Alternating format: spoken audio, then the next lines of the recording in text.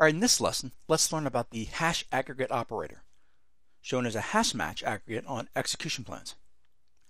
In this lesson, we're going to describe two hash algorithms, the hash aggregate and the hash join, which work in a similar way and are in fact implemented by the same physical operator, the hash match.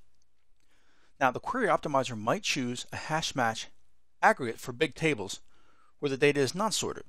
There is no need to sort it. And its cardinality estimates only a few groups. So for example, the sales order header table has no index on the credit card approval code column. So the following query will use a hash aggregate operator.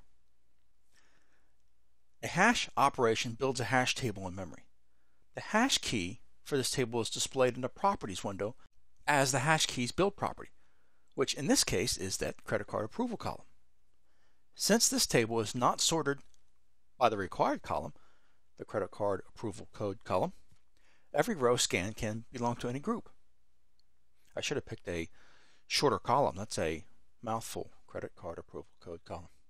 All right, so the algorithm for this hash match operator is similar to the stream aggregate, with the exception that, in this case, the input data is not sorted. A hash table is created in memory, and a hash value is calculated for each row processed. Note again that the hash aggregate helps with the data that is not sorted. There's the, the key is the not sorted. If you create an index that can provide the data in a sorted order, then the query optimizer might select the stream aggregate instead. In our example, we'll create a non-clustered index on credit card approval code column. And when we did that, we got the stream aggregate. All right, so lastly, let's take a look at the distinct keyword. Query using the distinct keyword can be implemented by a stream aggregate, a hash aggregate, or a distinct sort operator. Now, the distinct sort operator is used to both remove the duplicates and sort its input. If an index to provide sorted data is available, the optimizer can use that stream aggregate operator.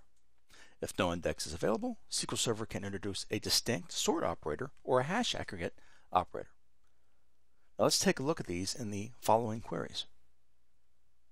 Note that the plan using the distinct operator, the operator will sort the rows and eliminate the duplicates. If we create an index, the query optimizer will introduce a stream aggregate operator since the plan can take advantage of the fact that the data is already sorted. Lastly, a larger table without an index to provide order can use a hash aggregate.